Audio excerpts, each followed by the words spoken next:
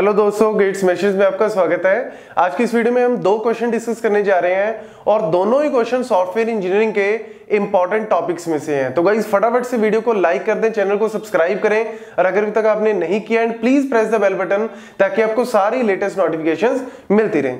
तो स्टार्ट करते हैं क्वेश्चन नंबर वन से। Project risk factor is considered in which model यहाँ पे मेरे पास चार ऑप्शन दिए हैं और चार ऑप्शन है spiral model waterfall model prototyping and iterative model तो इन चारों मॉडल्स में से रिस्क फैक्टर जो है वो हम किसमें कैलकुलेट करते हैं? तो गाइज़ इस टाइप का जो क्वेश्चन है रिलेटेड टू द मॉडलिंग तो मॉडलिंग से रिलेटेड जो क्वेश्चन है, वो आपको मैक्सिमम थ्योरी क्वेश्चन ही मिलेगा कि हर एक मॉडल के अंदर कौन कौन से स्टेप्स हैं। उन स्टेप्स से रिलेटेड जो है आपको क्वेश्चन मिल सकता है। तो यहाँ पे अगर हम बात करें, इस क्वेश्चन का आंसर क्या आएगा? Spiral model because spiral model में हम करते क्या है? चार हमारे पास क्वाड्रेंट होते हैं तो सबसे पहले हम क्या करते हैं? रिक्वायरमेंट गैदरिंग एंड स्पेसिफिकेशन मतलब हम सबसे पहले क्या करेंगे? रिक्वायरमेंट्स को गैदर करेंगे। या आप कह सकते हो कि all the specification we will specify कि हमें क्या कुछ करना है।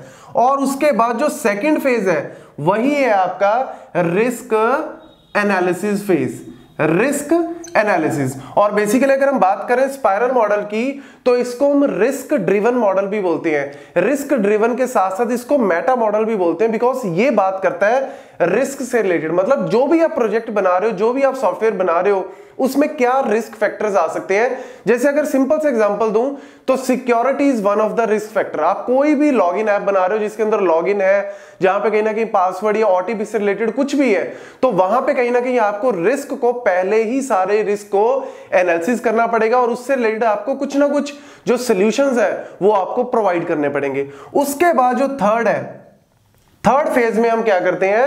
मॉडल जो है वो डिज़ाइन करते हैं और मॉडल डिज़ाइन करने के बाद, एक बेसिक मॉडल हमने डिज़ाइन किया और फाइनली फिर हम क्या करते हैं? कस्टमर को दोबारा से दिखाते हैं और कस्टमर से हम क्या लेते हैं? फीडबैक जिसको आप कह सकते हो कि कस्टमर से हमने इवेल्युएट करवाया कस्टमर से फीडबैक ली और जो भी उसने फीडबैक दी, उसके बेसिस पे अगर वो सेटिस्फाइड है तो उसके बाद हम नेक्स्ट जो है वो डिज़ाइन और कोडिंग वगैरह पे जाएँगे। अदरवाइज़ अगर वो नहीं है सेटिस्फाइड तो दोबारा से फिर जो भी स्पेसिफिकेशंस के अंदर चेंज करना है या जो भी हमें कोई नई रिक्वायरमेंट चाहिए तो उस पर जाएँगे। अगर वो रिस्क के रिलेटेड भी अगर और कोई कंसर्न है तो वो उससे रिलेटेड बात करेगा तो उससे रिलेटेड हम काम करेंगे और फिर हम दोबारा से क्या करेंगे प्रोटोटाइप जो है या जो मॉडल है हमारा, उस मॉडल में हम चेंजेस करेंगे। और फिर उसके बाद हम दोबारा से फिर कस्टमर को जो है वो इवेल्युएट करवाएँगे। अगर वो सेटिस्फाइड है, उसके बाद हम जो है वो नेक्स्ट फ़ेज़ पे जा सकते हैं और नेक्स्ट फ़ेज़ में हम क्या करेंगे? डिज़ाइनिंग कोडिंग टेस्टिंग अदरवाइज़ हम इस तरीके, इसको दोबारा से करते रहेंगे। तो यहाँ पे पूरा का पूरा फोकस किसके ऊपर है? कस्टमर के ऊपर है। तो कस्टमर की फीडबैक के बेसिस पे जब कस्टमर फुली सेटिस्फाइड है, उसके बाद हम जो है एक्चुअल डिज़ाइनिंग जो है वो स्टार्ट करते हैं। So this is the spiral model ऐसे ही लेट से अगर हम बात करें प्रोटोटाइप मॉडल में तो प्रोटोटाइप मॉडल में हम जनरली क्या करते हैं कि कस्टमर से हमने इंटरेक्ट किया, उसके बेसिस पे एसआरएस बनाया, एक क्विक मॉडल बनाया जिसको हम मॉकअप बोलते हैं या फिर उसको हम प्रोटोटाइप बोलते हैं। उस प्रोटोटाइप को हमने बिल्ड किया और उसके बाद हमने दोबारा कस्टमर को दिखाया। अगर कस्टमर सेटिस्फाइड है तो ओके हमने फिर उसको डिज़ाइनिंग फ़ेज़ में डाल दिया और फाइनली कोडिंग करने के बाद टेस्टिंग करने के बाद उसको मेंटेनेंस फ़ेज़ में डाल दिया। अदरवाइज़ हम उसके अंदर जो भी चेंजेस जो है, वहाँ पे करते हैं। लेकिन यहाँ पे कहीं भी हमने रिस्क से रिलेटेड कोई भी बात नहीं करनी। ऐसी आइट्रेटिव मॉडल की अगर हम बात करें तो आइट्रेटिव मॉडल में भी हम क्या करते हैं? सबसे पहले जो भी हमारी एनालिसिस है गैदरिंग फ़ेज़ है उस पे जाते हैं। उसके बाद हम डिज़ाइनिंग फ़ेज़ पे जाते हैं। डिज़ाइनिंग के बाद हमारे पास जो कोडिंग का फ़ेज़ है और फाइनली हमारे पास आता है कोडिंग um, के बाद हमारे पास आता है लेट से टेस्टिंग का। तो टेस्टिंग के बाद मतलब वो आइट्रेटिव वे में जो है वो काम चलता है। तो यहाँ पे इसमें भी अगर हम बात करें तो कोई भी रिस्क से रिलेटेड यहाँ पे कोई भी बात नहीं है। और ऐसे ही अगर हम बात करें वाटरफॉल मॉडल की तो वहाँ पे भी हम रिस्क से रिलेटेड कोई भी बात नहीं करते। तो रिस्क जो है वो एनालिसिस या रिस्क फैक्टर जो है वो हम कंसीडर करते हैं किसके अंदर?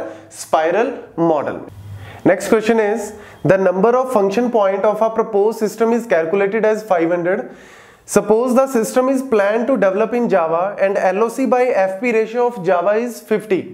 Estimate the effort required to complete the project using the effort formula of basic COCOMO given below. This is the formula given for the basic COCOMO. So the question is based on the COCOMO model और COCOMO model के basis पे हम क्या find out करते हैं effort and cost estimation तो हमारा जो फ्लो है वो कैसे काम करते हैं हम यहाँ पे सबसे पहले हमने क्या करना है साइज़ एस्टिमेशन जो है वो कैलकुलेट करना होता है तो साइज़ एस्टिमेशन की अगर हम बात करें साइज़ एस्टीमेट कैलकुलेट करने के बाद हमें फाइनली पता लगेगा एफर्ट्स का। और एफर्ट कैलकुलेशन करने के बाद हमारे पास आता है कॉस्ट कितनी आएगी? मतलब कॉस्ट को हमने एस्टीमेट करना होगा और हमारा शेड्यूल शेड्यूल या कह सकते हो आपका टाइम कि आपका टाइम को भी आपको एस्टिमेट करना पड़ेगा कि कितना टाइम जो है वो लगेगा। तो ये जो हमारा फ्लो इस तरीके से चलता है, सबसे पहले हमें क्या फाइंड आउट करना है? साइज़ एस्टिमेशन तो साइज़ एस्टिमेशन जो है वो प्रोजेक्ट का कैसे पता लगेगा? दो तरीकों से हमारे पास पता लगता है। या तो हमारे पास है लाइन ऑफ़ कोड या फिर है हमारे पास फ़ंक्शन पॉइंट तो यहाँ पे अगर हम इस क्वेश्चन की बात करें, यहाँ पे फ़ंक्शन पॉइंट जो है वो हमें दिया हुआ है। फ़ंक्शन पॉइंट जो है वो प्रपोज सिस्टम का कितना है? 500 और दूसरा, अगर हम इस प्रोजेक्ट को जावा में डेवलप करते हैं तो LOC by FP ratio is given as 50 हमारे पास जो है जावा की एलओसी बाय एफपी रेशियो कितनी दी हुई है? 50 और हमें पता है कि एफ़ पी जो इस प्रोजेक्ट का वो कितना है? फ़ंक्शन पॉइंट जो है वो कितनी वैल्यू है? 500 तो अगर आप एफ़ पी की जगह 500 पुट करो तो एलओसी आप कैलकुलेट कर सकते हो। तो लाइन ऑफ़ कोड कितना आ गया आपका? 50 into five hundred which is twenty five thousand तो ये आपका लाइन ऑफ़ कोड आ गया। अब लाइन ऑफ़ कोड के बेसिस पे आपको पता लगेगा कि किस टाइप का प्रोजेक्ट है। किस टाइप के प्रोजेक्ट का मतलब है कि क्या ये बेसिक के अंदर आता है? या आप कह सकते हो कि क्या ये सिंपल के अंदर आता है? या फिर सेमी डिटैच्ड या फिर हमारे पास है एम्बेडेड तो सिंपल को या आप कह सकते हो ऑर्गेनिक। तो ऑर्गेनिक का जो साइज़ है, वो किसके ऊपर डिपेंड करता है? लाइन ऑफ़ कोड अगर आपके पास 50 के है। अप टू जो है वो लाइन ऑफ़ कोड कितना होना चाहिए?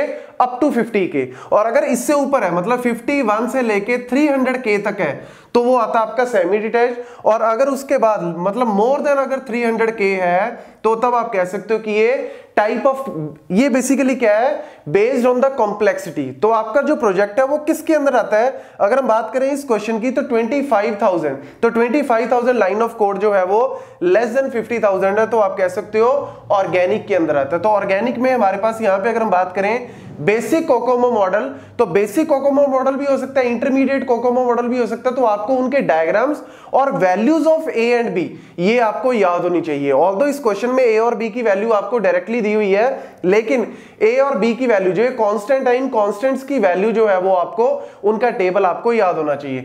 तो बस अब करना क्या है? आप सिंपली यहाँ पे वैल्यू पुट कर दो। ए की वैल्यू आपको दी हुई है 2.5 के एल का मतलब क्या है? Kilo line of code kilo का मतलब क्या होता है? के का मतलब होता है वन थाउज़ेंड अगर हम बात करें वन के वन के का मतलब क्या है? वन थाउज़ेंड तो यहाँ पे हमारे पास अगर बात करो तो ट्वेंटी फाइव थाउज़ेंड तो आप इस पूरे थाउज़ेंड को क्या लिख सकते हो? के तो यानी कितना आ गया आपका साइज़ ट्वेंटी फाइव के तो आपके यहाँ पे पुट कर दो के एल की वैल्यू कितनी होगी? 25 और ऊपर जो है बी की वैल्यू कितनी है? 1.0 तो अगर आप इसको कैलकुलेट करो तो ये आपका आंसर आएगा 62.5 पीएम क्योंकि एफर्ट जो है एफर्ट को हम डिनोट करते हैं पीएम पीएम का मतलब है पर्सन मंथ तो पीएम की वैल्यू यहाँ पे कितनी आ रही है? 62.5 तो इस तरीके से जो है वो हम कैलकुलेट करते हैं question related to the COCOMO और इसके ऊपर मैं आपको बताना चाहता हूँ कि कोकोमो मॉडल के ऊपर आपको न्यूमेरिकल जो है नियर अबाउट हर साल आपको इसके रिलेटेड जो है, वो क्वेश्चन मिलेगा ही मिलेगा। तो बहुत ही सिंपल लेवल ऑफ़ क्वेश्चन है तो इसको अच्छे से करके आना, ध्यान से करके जाना, और क्वेश्चन की जो स्टेटमेंट है, वो ध्यान से रीड करना। कई बार स्टूडेंट क्या करते हैं यहाँ पे, उन्होंने 500 को, या इसकी जो रेशियो जो है, वो इसको कैलकुलेट नहीं किया, या उन्होंने एफपी को अच्छे से देखा नहीं तो यहाँ पे कहीं ना कहीं लाइन ऑफ़ कोड में, या जब हम इसको के में कन्वर्ट करते हैं, किलो में कन्वर्ट करते हैं तो वहाँ पे कहीं ना कहीं जो कैलकुलेशन मिस्टेक जो है, वो जाती है तो इसलिए इसको ध्यान से क्वेश्चन को करना। Thank you